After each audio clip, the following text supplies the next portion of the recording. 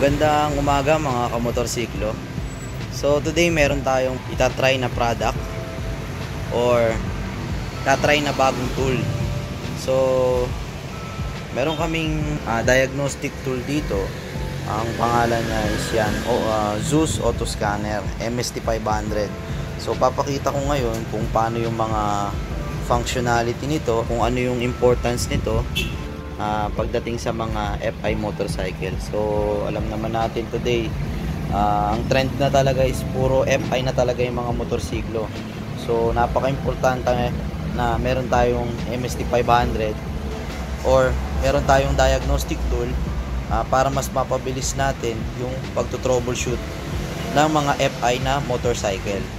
So, before natin ito ah, i-test, Ah, i-promote ko na lang din na ito meron na tayong ah, maliit na shop. Ah, located ito dito sa Quirino Highway ah, Sangandaan, Quezon City. So ito maliit pa lang pero more on ah, accessories pa lang tayo. Pero pagdating dito halos kompleto naman tayo. Ah, pagdating sa mga tools kagaya ng ano ah, meron tayong diagnostic tool meron din tayong pang FI cleaning yan, may mga battery charging and so on. So sa mga gustong magpa-check or troubleshoot, diagnose ng mga motorsiklo nila, ah, visit lang kayo dito sa aming shop. So ipakita ko na rin pala ito yung ano, ah, project nating ah, Wave Alpha. So until today, ah, yan pa rin yung status niya. So medyo naging busy kasi, ah, yun nga dito sa pag lilipat ng bagong shop same time ah, medyo marami rin kasing pending. So ito ah, simulan na natin. So guys it, bali ito yung magiging testing unit natin yung ating ah, Aerox na 180cc bali ngayon papakita ko muna kung ano yung kagandahan ng merong diagnostic tool. So isa sa mga nag isa sa mga advantage ng meron nito is mas madali natin makikita uh, in case na magkaroon tayo ng error code dito sa ating panel uh, mas madali nating mapipinpoint kung uh, saan nga ba yung nasabing error. So try natin. Pakita ko lang pala muna uh, na wala tong error. Sige. So saksak natin itong diagnostic tool. So ito yung attachment niya for Yamaha So marami na ito for various models. Uh, kasama na yung Aerox. So halos kompleto na ito. So para sa Aerox, ito yung gagamitin natin. Ito. So ayan. Uh, saksak natin siya rito. Yan. So yan, nag-power on na yung ating MST 500. So ito palang diagnostic ng mga FI na motorcycle, usually malapit ito sa battery. So kagaya ng Aerox, nakalocate siya dito, uh, malapit sa upuan. Uh, yung ibang FI naman is nandito sa harapan ng ilaw niya or headlight. So depende sa model kung saan naka-place itong uh, uh, plug para sa diagnostic. So ayan, ito yung mismong uh, GUI niya or interface. So pindutin natin, diagnose. Then ito yung mga model na supported ng MST500. So napakarami niyan. Halos lahat ng uh, model at mga manufacturer ng mga motorsiklo na andito na. So laking advantage ng meron ito kasi universal na siya. So piliin natin Yamaha Then, automatic search na lang tayo. Then, engine. Okay, then, buksan natin switch. Okay. So, ito na yung mga nakikita niya regarding engine. So, meron tayong monitoring, diagnostic, CO adjustment, uh, read and erase, fault code, dynamic check, and ECU information. Pero usually, dito sa 1 and 2 lang naman, 1 and 2, 4, 5 yung pinaka nagagamit eh. So, unahin natin dito sa diagnostic. Okay. Switch off.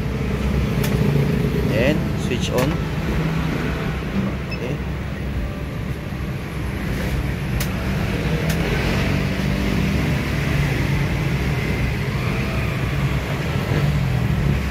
So, ayan, nakikita dito yung mga TPS, so on and so on. Pero ang titingnan lang muna natin dito is yung kung meron ba siyang ah, existing na error.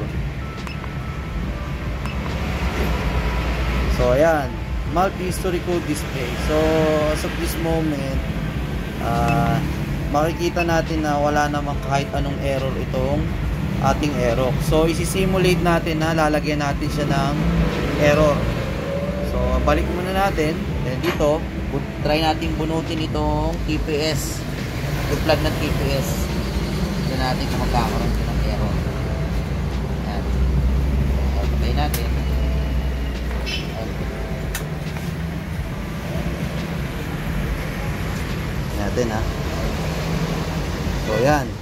Ah, punta tayo da sa read fault code. Yan. Makikita nyo, meron ng check engine ito. Pakita mo na lang.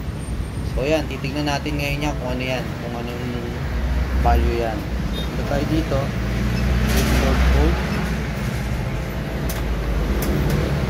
Ayun, dito natin.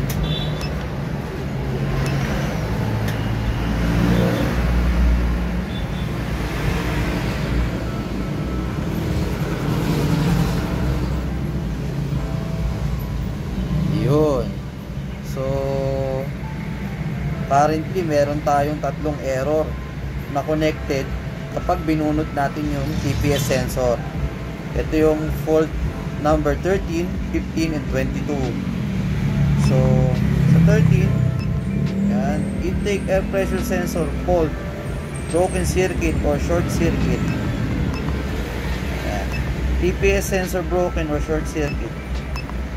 Then, intake air temperature sensor. So, dito pa lang, ah, sa diagnostic pa lang, alam mo na kaagad kung ano yung ipipinpoint mo na, ka, na pyesa kung saan siya nagkakaroon ng problema. So, kagaya nga dito, sabi niya is throttle position sensor, which is yun nga, yung binunot natin na TPS. So, balik natin yung TPS. Yan.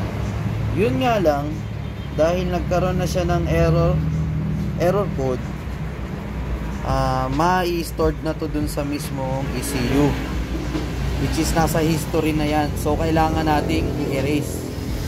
So, yan, pigutin natin, erase fault code.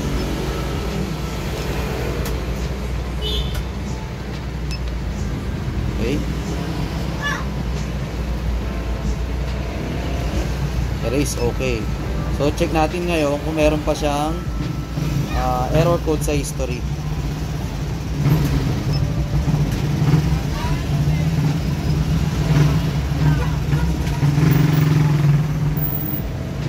yun. So wala na siyang kahit anong error na naka-store sa ECU so isa yun sa advantage ng merong diagnostic tool. Next na advantage nitong ah, diagnostic tool is ah, in case meron tayong ginalaw dito sa ating ah, throttle body, ah, kaya niyang i-correct uli ito sa dating value or original value. Kaya nito, nagpalinis tayo ng throttle body. Alam ko maraming nakaka-experience after na ipalinis yung mga throttle body nila. Nagbabago yung minor, taas baba, mataas masyado yung minor, or mababa, namamatay. Isa yun sa importance na meron kang diagnostic kasi makikita natin ngayon kung bakit siya nagkakaganon. So, maaaring may mali dito sa ah, value ng TPS, maaaring yung ISC natin hindi siya nakaset sa tamang value. So, ipapakita ko ngayon sa inyo kung paano siya ah, ginagawa sa diagnostic. So, kagaya nitong aming Aerox, ah, currently ang gamit namin manual ISC. Ah, dahil nga although may karga ito, nung una kasi wala pa kaming diagnostic eh. So, solution na naisip namin is palitan muna ito ng manual ISC para manually kami magsiset nung mismo idle niya. So, ngayon, meron na kaming diagnostic. Susubukan naming ibalik ito sa original na ISC, ah, which is ito yon. Ah, ito, nakabalot lang siya. kasi hindi to pwedeng bunutin dahil magkakaroon tayo ng check engine. So, andito pa rin siya, nakakabit, pero hindi siya nakasaksak dito sa mismong throttle body. So, ngayon, kakabit natin ito, then, i-correct natin yung value para pag-minor siya ng tama. Kasi dati, pagka ikinabit namin ito, medyo hindi maganda yung minor niya, itaas baba siya. Dahil nga wala kaming diagnostic, ah, naging solution namin is nag-manual ISC kami. So ngayon, ay babalik natin.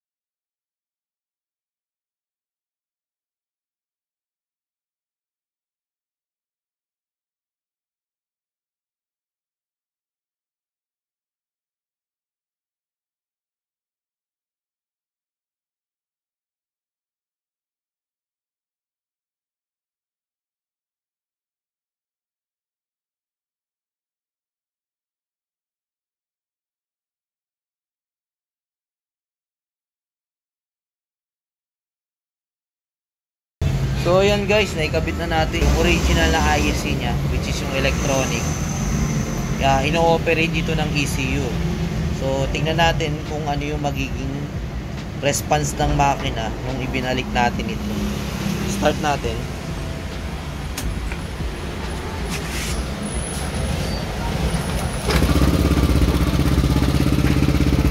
So ayan guys, uh, sana naririnig nyo ngayon sa video napakataas ng minor niya. So subukan nating bigyan ng throttle.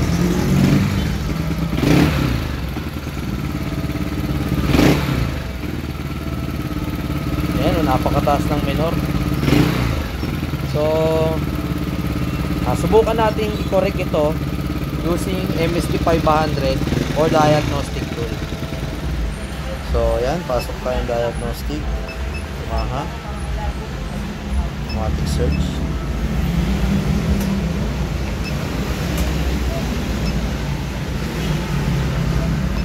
diagnostic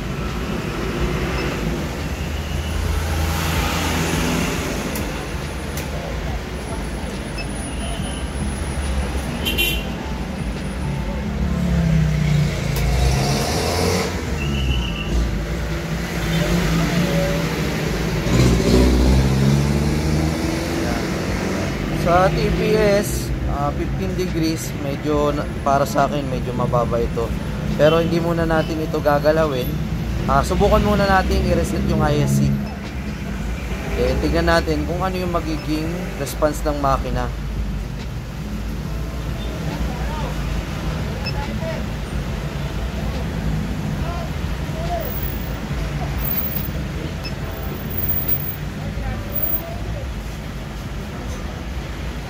Yan, naka zero na siya.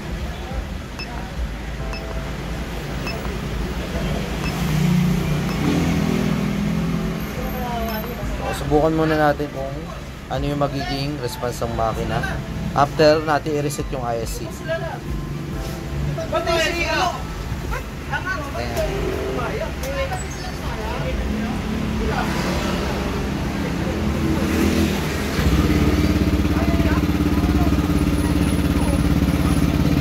Muna natin siya mag-learn.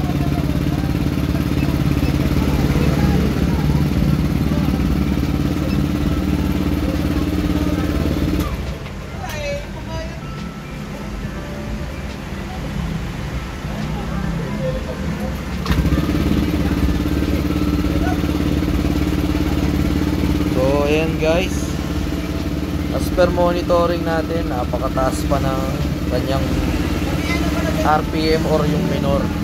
So, i-adjust pa natin ito.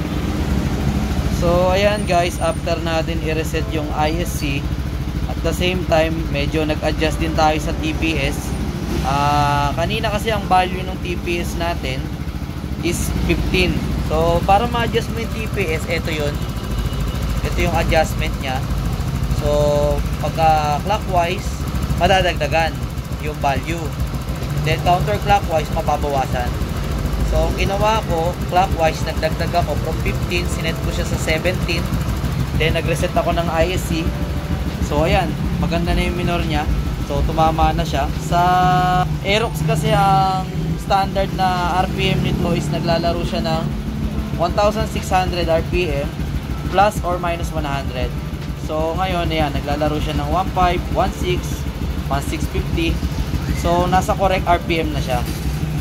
So, ganun lang guys. Pagka meron kayong diagnostic tool, ah, malaking tulong talaga siya kasi makikita mo dito yung right na value at the same time pwede mo siyang i-correct.